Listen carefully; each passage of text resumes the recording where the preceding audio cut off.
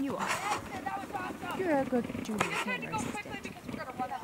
Make sure you get a picture of Snap and his assisting abilities.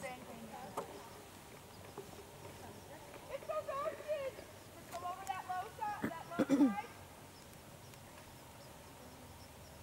they don't know. Mm, that's the speaker. Oh, pretty. I bet you it starts.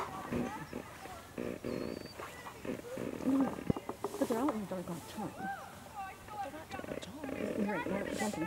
Well, can horses see? Are they like? I mean, does it bother? Could, do they know? You know what I mean? Like cats? Oh, that's right. Do horses know when it's daylight?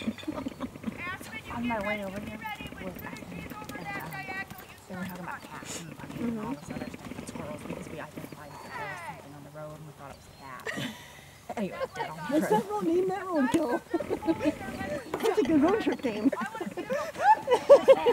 So I'm like, What color is it? we should look and see if they have cat bunnies. These aren't real officers What? yet. You can be a Cat little bunnies. closer. She's And gonna by the go way, they're left. cabins. The left shoulder back. There are cat Hold the left What? leg on. She's gonna go Cats left again. mixed with bunnies. There is a Wide sheet. cabbit Okay, race. There is a cabbit race. They have It's mixed. okay. This part of That training. sounds like You had her problem.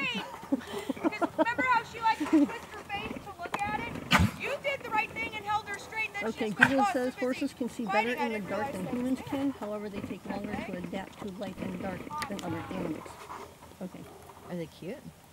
What'd you say about the? It says here, here, okay. It says horses can see better in the dark than humans can. However, it takes them longer to adapt to the adjustment than it does other animals.